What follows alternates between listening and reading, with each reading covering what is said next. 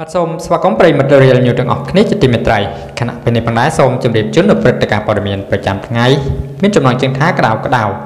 នៅមុននេះបន្តិចគឺមានអគិភ័យកំពុងឆាបឆេះនៅផ្សារទំនើបអូឡាំផ្សារជាប់ពហុកីឡដ្ឋានជាតិអូឡ িম্প ពិកភ្នំពេញថ្ងៃទី2ខែសីហាឆ្នាំ2019គឺមានករណីអគិភ័យកំពុងឆាបឆេះក្នុងផ្សារទំនើបអូឡាំផ្សារនៅត្រង់ចំណុចចំណតរថយន្ត ដែលជាហេតុធ្វើឲ្យមានផ្សែងខ្មៅចេញបាត់ពីពេញទៅតាមផ្លូវយ៉ាងសន្ធោសន្ធៅដោយធ្វើឲ្យអ្នកឆ្លងកាត់នៅទីនោះនាំគ្នាឈប់មើលគ្រប់គ្នាមកក្រោយវិឆេទបានមួយផ្លែតក្រុមពលរដ្ឋអគិភ័យក៏បានចុះមកកន្លែងកាត់ហេតុបាត់ភ្លាមភ្លាមផងដែរដោយគណៈពេលនេះគឺសមត្ថកិច្ចកំពុងធ្វើការពលរដ្ឋអគិភ័យយ៉ាងស្វាហាប់បាទខ្លាំងណាស់តែចំពោះមូលហេតុដែលបណ្ដាលឲ្យឆាប់ឆេះនេះគឺយើងពុំទាន់ដឹងនៅឡើយថាគឺបណ្ដាលមកពីមូលហេតុអ្វីនោះទេ